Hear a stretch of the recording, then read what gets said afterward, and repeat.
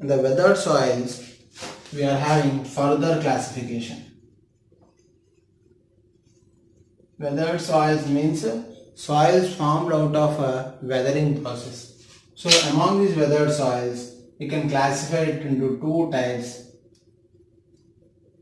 transported soils or residual soils. What is this residual soils and what is this transported soils? So let us see residual soils. Residual soils. So the soils which were deposited at the same place after the weathering process has taken place means after the completion of disintegration or decomposition process if they were deposited at the same place of origin then those soils are called residual soils.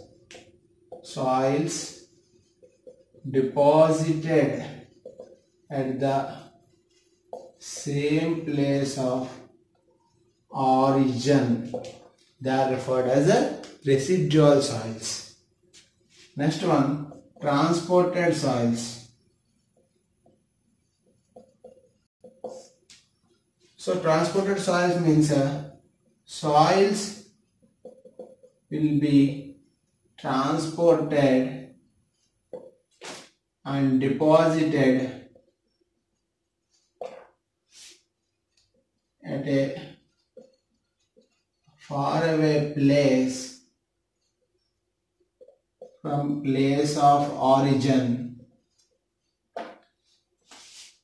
Those soils are referred as transported soils. Means here the soils after the weathering process, after the disintegration process, they are going to be transported from that place, from the origin place to another place.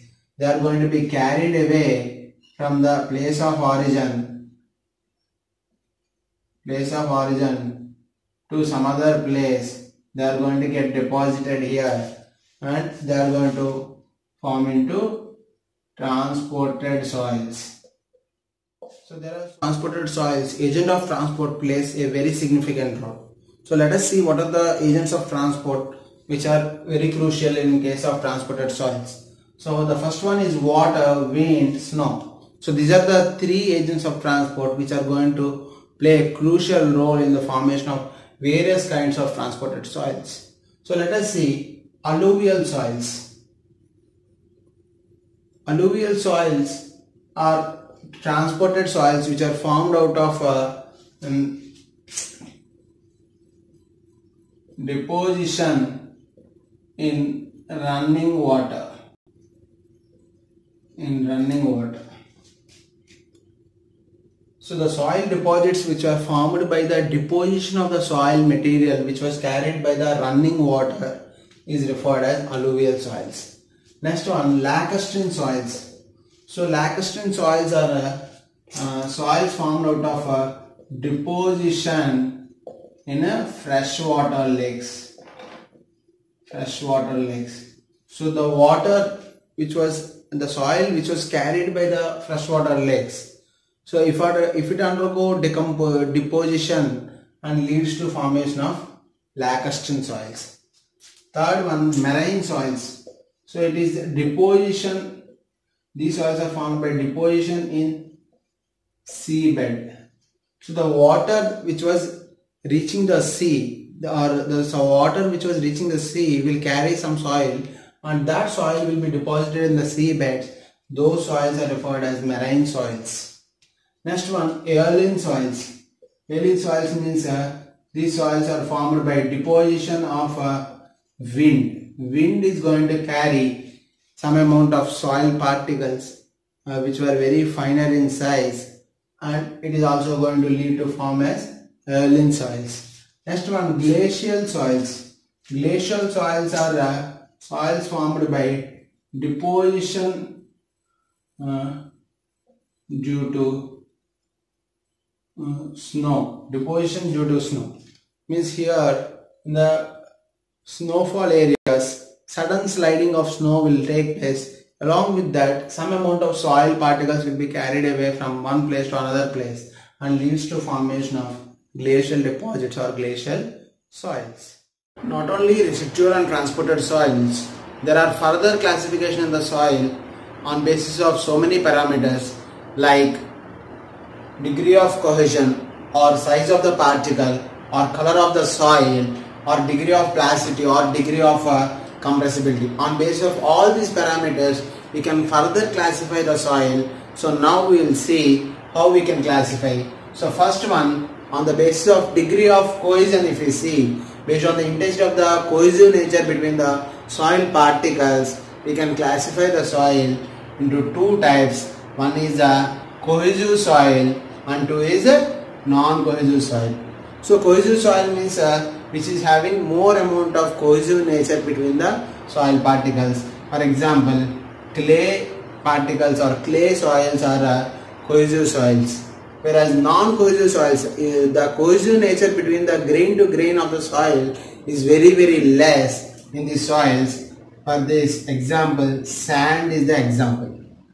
Next one, size of the particle. Based on the particle size of the individual soil grains, we can classify it into coarse grained soils as well as fine grained soils. So if the particle size is more than 4.75 mm, then it is referred as a coarse grained soil. And if the particle size is less than 4.75 mm, then they are referred as a fine grained soils. So here coarse grained soils means sand, gravel, all these come under coarse grained soils. Whereas here in the fine grained soils, clay and silt, all these come under fine grained soils. Next one, based on the color, color on basis of color also we can identify or we can classify the soil as a black soil or red soil. So it is purely on the color what we see. So if the color of the soil is black, then it is referred as black soil the color of the soil is red, it is referred as red soil. Black soil means a black cotton soil. Red soils means laterite soils. Laterite soils are generally referred as red soils. Why? Because they are red in color. Next one, based on the degree of plasticity. So based on the degree of plastic nature exhibited when it was coming in contact with water. So we can classify it into highly plastic clay and non-plastic clay. So if the plastic nature when it was added with water is high, then it is referred as highly plastic clay. Example, clay soils or marine soils or uh, um, black cotton soils. All these are having highly plastic nature. Non-plastic clays means uh, silty clay or silty sand. All these will be having less plastic nature. That is why they are referred as non-plastic clays. Next last one based on the degree of compressibility. So if the soil is susceptible for more compression is called highly compressible or low compressible. So if the degree of compressibility is more in that particular soil then they are referred as highly compressible soil.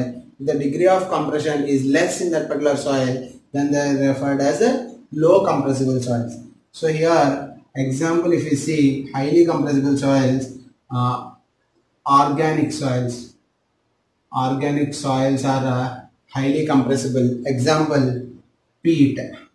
Peat is a one kind of organic soil which is highly compressible. Low compressible soil. Low compressible soil means soil which is uh, uh, less susceptible for compression or less susceptible for compressibility. They are referred as low compressible soils. Example, gravel soils or uh, mm, uh, red soil or lacustrine laterite soils. So all these are uh, low compressible soils or uh, sandy soils are also low compressible soils. So all these